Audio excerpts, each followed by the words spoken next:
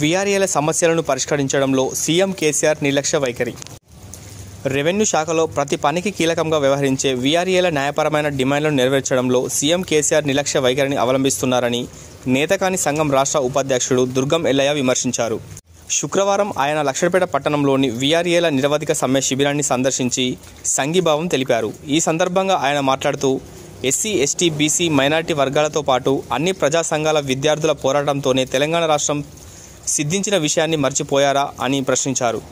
నీళ్ళు నిధులు నియామకాలు అనే నినాదంతో అధికారంలోకి వచ్చిన కేసీఆర్ వాటిని పక్కన పెట్టి మంత్రులు ఎమ్మెల్యేలకు మాత్రం పేస్కేలు పెంచుకున్నారని మండిపడ్డారు. అసెంబ్లీ సాక్షిగా వీఆర్ఏలకు పేస్కేలు వర్తింప చేస్తారని ప్రకటించి జీవోను విడుదల చేయకపోవడం శోచనీయమని పేర్కొన్నారు. వీఆర్ఏల న్యాయపరమైన సమస్యలను పరిష్కరించకపోతే ఎస్సీ ఎస్టీ బీసీ మైనార్టీ ఐక్యవేదిక ఆధ్వర్యంలో ఆందోళన చేపడతామని హెచ్చరించారు. ఈ కార్యక్రమంలో బీసీ సంక్షేమ సంఘం జిల్లా కార్యదర్శి వడ్డపల్లి మనోహర్ ఆదివాసీ సంఘ నాయకులు జు కోవ జో జంగు తెలంగాణ ఐక్యవేదిక కన్వీనర్ కళ్యాణ రవి సంజీవ్ విఆర్ఓ మండల అధ్యక్షుడు సురమల్ల శ్రీనివాస్ కో కన్వీనర్ దుంపల ప్రదీప్ కుమార్ ప్రధాన కార్యదర్శి రాజశేఖర్ ఉపాధ్యక్షుడు కిరణ్ కుమార్ సభ్యులు రవీందర్ రవి చందు విజయ్ రమేష్ కళ్యాణం రవి తదితరులు పాల్గొన్నారు.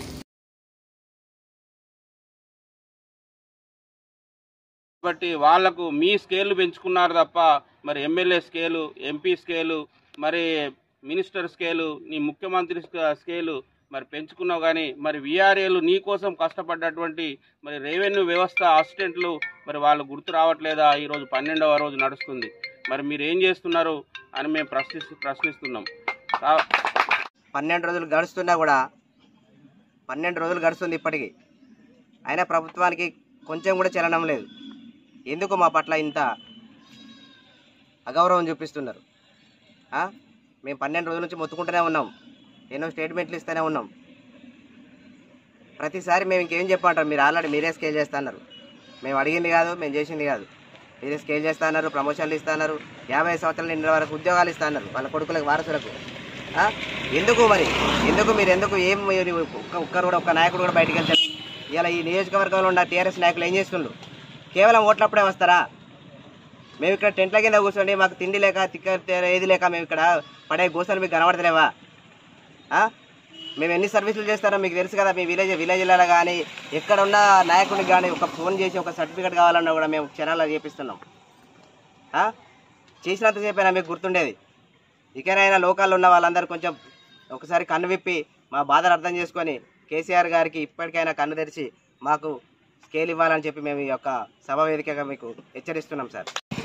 విఆర్ఏ జేఏసీకి మద్దతుగా ఎస్సీ ఎస్టీ బీసీ మైనార్టీ ఐక్యవేదిక తరపున మేము వారికి పూర్తి మద్దతు ప్రకటిస్తున్నాం.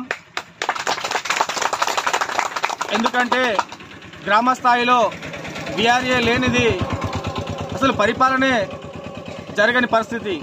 గతంలో చూసుకున్నట్టయితే పటువారి వ్యవస్థ నుంచి మారి తన పరిధులు మళ్ళీ ప్రజా సమస్యలకు వెంట వెంటనే ఈ రెవెన్యూ వ్యవస్థలో మార్పు రావాలని రెవెన్యూ వ్యవస్థకు వెన్నుదండుగా ఉన్నటువంటి పట్వారి వ్యవస్థను విఆర్ఓగా అలా కింద పనిచేస్తున్నటువంటి స- అసిస్టెంట్ విఆర్ఏగా ఎంతో ప్రజలకు సేవలను అందించి రెవెన్యూను ఒక మంచి ఉన్నత స్థాయిలో ప్రభుత్వ భూములు ఎక్కడ ఉన్నా అన్యక్రాంతం కాకుండా ప్రజలకు మేలైనటువంటి సేవ చేసి ప్రతి ప్రభుత్వం నడవాలన్నా అక్కడ ఉన్నటువంటి రెవెన్యూ వ్యవస్థకు పూర్తి పట్టుకొమ్మలైనటువంటి సంఘం ఏదైతే పరిపాలనకు అవసరమైనటువంటి శక్తినిచ్చింది అన్ని సమస్యలకు ఆల్ డిపార్ట్మెంట్కు ఆల్ హ్యాండ్స్ అన్నట్టుగా రెవెన్యూ వ్యవస్థ అందులో విఆర్ఏలే కీలక పాత్రం. ఎందుకంటే ఈరోజు తెలంగాణ రాష్ట్రం ఎందుకు సాధించుకున్నాం? తెలంగాణ రాష్ట్రం వస్తే ఏం జరుగుతుంది అంటే నీళ్ళు నిధులు నియామకాలు. అసలు నియామకాలే లేక ఈరోజు అసలు ఉన్న ఉద్యోగాలే తీసేసే పరిస్థితి ఈ తెలంగాణ ప్రభుత్వంలో మనం చూస్తూనే ఉన్నాం. ఎందుకంటే ఈ జరుగుతున్నట్టు పరిణామాలు